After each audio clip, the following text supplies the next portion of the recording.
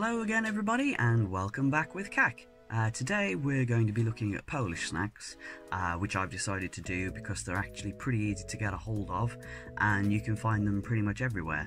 Uh, like a lot of the discount stores here in the UK uh, will have snacks from Poland or other places in Europe simply because it's cheaper uh, for them to stock the discount stores with them because they don't have to worry about like brand name um, payments and such, something like that.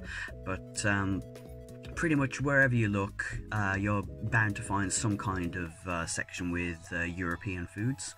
And I've never really tried them before, uh, and I thought I may as well give them a go because you know they're right there. Uh, they're fairly cheap and easy to get a hold of, so um, thought I'd take a look and see what we've got there. So for today's selection, we have got uh, Pea Snacks, Cherry Chocolate, Princessa Bar, Hazelnut Wafer, Advocaat, uh, some Crunchy Chocolate, and an energy drink. Okay, so first things first, we're to start with the savoury, as usual. So let's take a look at the Pea Snacks. Um, I know Pea Snacks have kind of uh, become a recent thing. You can just get them in stores regularly, uh, but I've never actually tried them before, so I thought I may as well uh, go for these now. They feel flaky and a bit brittle, like little, I suppose they're like pea pods, but... Uh,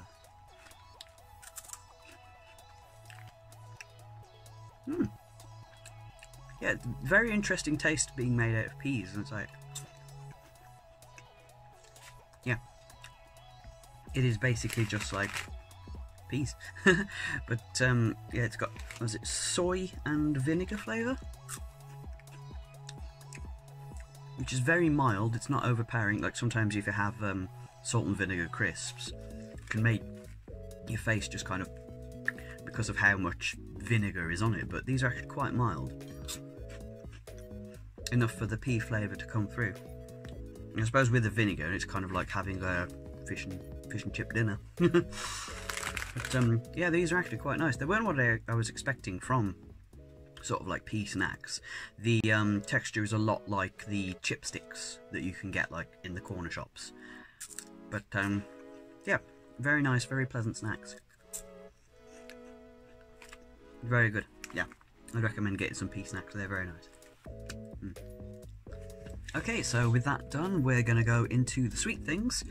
And I'll start first with the uh, hazelnut crisps.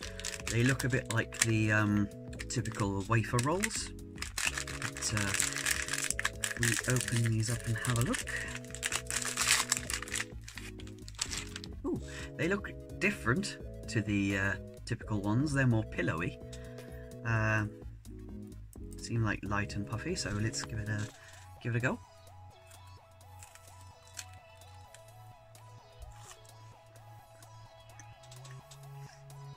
No, these are very different. Okay, the um, outer ring is like puffed corn. Um, if you remember the Umaibo snacks that we had from Tofu Cute, it's like that kind of consistency. And then on the inside, you've got like the hazelnut cream, which is fairly solid, but um,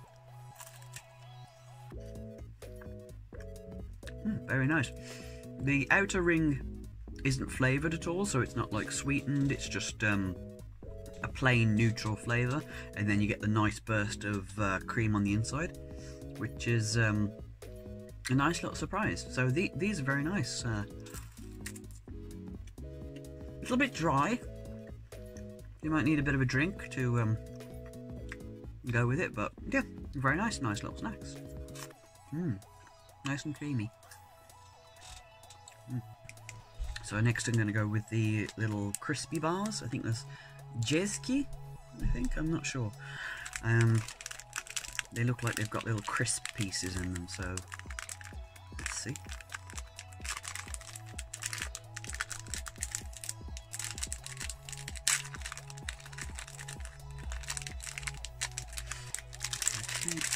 pop this out here. Oh yeah. So like very knobbly and crispy. Probably some kind of um, Rice crispy kind of treat. Already broken here. So see, we've got caramel joins together, and uh, like biscuit on the inside, I think. But, uh, let's give it a try. Mm, yeah. Yeah, that's what it is. Um, biscuit in the middle, little rice crispy pieces around the outside, all bound together with caramel and chocolate.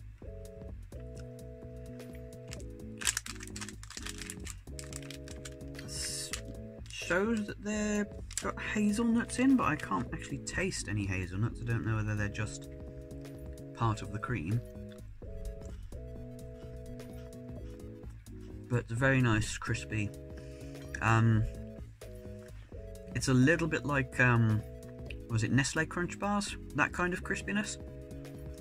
So it's nice, nice crunch to it. But, um, far as taste goes, nothing particularly special, but but always like a nice crunchy chocolate, so yeah, good enough for me. Uh, next, I'm going to go with the Princessa, which is uh, said to be zebra flavour, which I'm assuming is uh, chocolate and vanilla for like uh, brown and white stripes. It feels like one of those layered wafer bars, so pretty sure that's what we're going to get when we open it. Yep. See, there we are, striped wafer bar. Let's give it a give it a taste, see what it's like.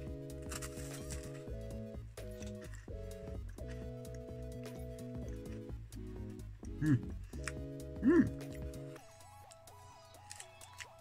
I'm assuming it's vanilla, but it's a nice creamy flavour otherwise, very nice and rich. Mm. Quite surprising for a wafer because you expect wafers to be uh, rather dry.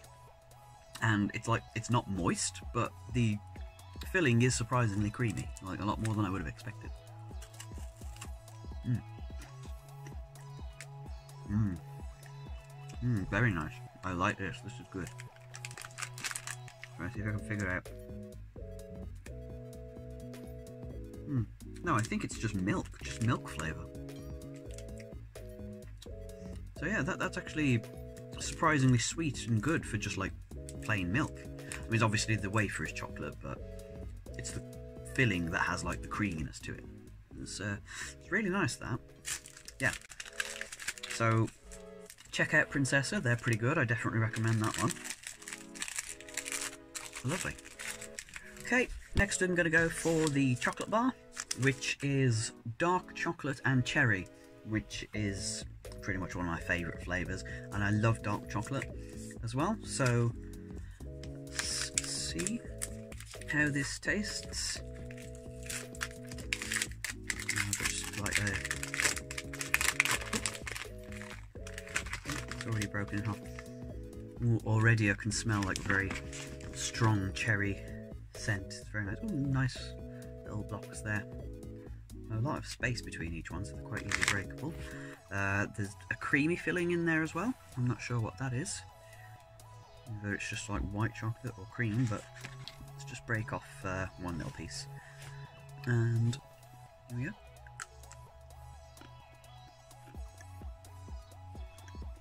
Mmm. Mm. That is a nice, very strong, rich cherry flavour. Yeah, like cherry puree probably. It's like really strong, really nice. The white, possibly like almond filling. I'm not sure. Let's see.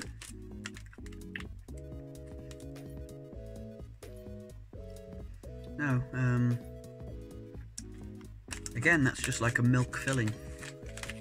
But, um, yeah, really, it's just nice, strong, dark chocolate. So if you like dark chocolate, that's really good. And the cherry is just, yeah, very, very rich. You can't see much of it in there, but the taste, you can definitely taste it very strong. And it, the sweetness of the cherry kind of counteracts the dark chocolate really well. Mm. So if you're a fan of dark chocolate, go with uh, this one here. Wedel. Yeah. So yeah, very nice, very. Okay, so for the snacks, this one I've kind of left till last because I'm dreading it a little bit, um, being as that it's the Advocaat flavour, which, if you don't know what it is, it's basically like the uh, concentrated version of what eggnog would be. Very thick, custardy, alcoholic drink, which you normally sort of like dilute with uh, either lemonade or other spirits like that, just to make it like, you know, easy to drink. Whereas in its raw form, it's very thick and syrupy. So, um, I'm hoping it'll be a little more palatable in a chocolate bar than it is as a drink, but uh, I'll take a look. I'll give it a go.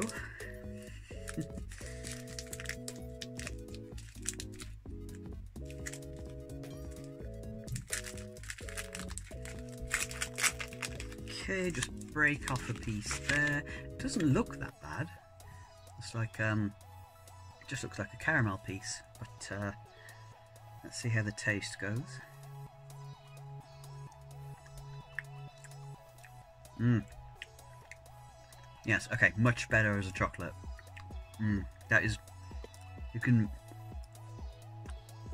have, it's got like the very slight liqueur taste to it because it is it basically is a chocolate liqueur. So, um, yeah, it's actually pretty good as a filling. It's a lot better than I expected, and yeah, it's it's difficult to describe as anything else other than like a chocolate liqueur. Mm. It's very nice and rich and creamy one. So yeah, that's um, that's been a bit of a pleasant surprise. I wasn't expecting that to be quite so good, but yeah, Advocaat chocolate. Give it a try, see what you think.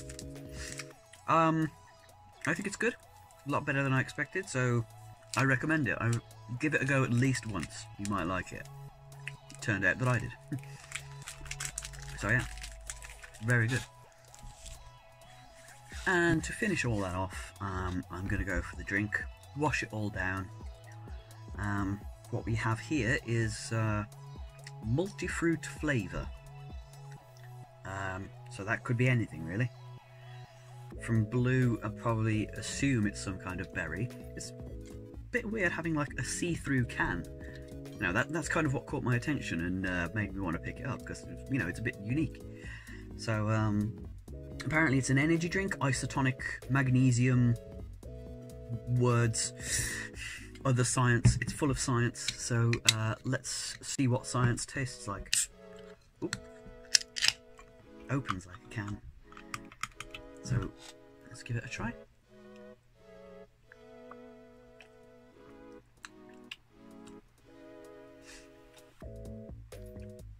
It's odd because it says sparkling, yet it feels like it's still, but it definitely does have the flavour of, you know, when you have sparkling water and it just has the carbonisation flavour in it. The actual fruit is very mild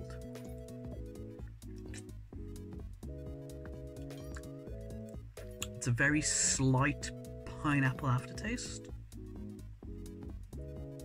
But, um, yeah, there's not a lot to it, not a lot flavour. I mean, I suppose it might be good as a sports drink if it's isotonic, if that's the idea, rather than like an energy hit. There's probably not as much sugar. Yeah, reduced sugar, but it's interesting.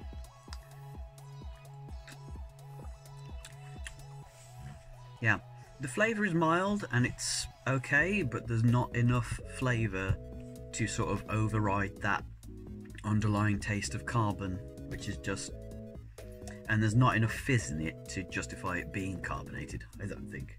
So, not one that I'd recommend personally. It's okay, it's not horrible, but there are better isotonic drinks out there. So, uh, no, I'd, I'd give a pass on this one and that's everything for me today. Um, I was hoping to get more savoury snacks, but uh, they turned out to be a bit more difficult to get a hold of. The only things that I could see were ones that are already widely available in UK stores, so it wasn't really worth going out of my way to get them. Um, but um, I think, given the abundance of sort of like European stuff that we get here, not uh, regularly in the supermarkets, but sort of like in specialty shops and uh, other things like that, then I might, well, I, I, probably will look into doing more European snacks in the future. Not specifically Polish next time, but um, maybe other things, uh, German, uh, Belgian. Uh, Belgian might be a good one to do a whole video on because, you know, Belgian chocolates. Uh, but there's also like Greek, uh, French, other things like that. I'll have a look around, see what I can find, see if I can find enough to make like another European special or something like that. But uh, that's everything for now. That's Polish, and keep an eye out in future to see more European snacks. But um, that's enough for me today. Thank you for watching, and I'll see you next time. Bye bye.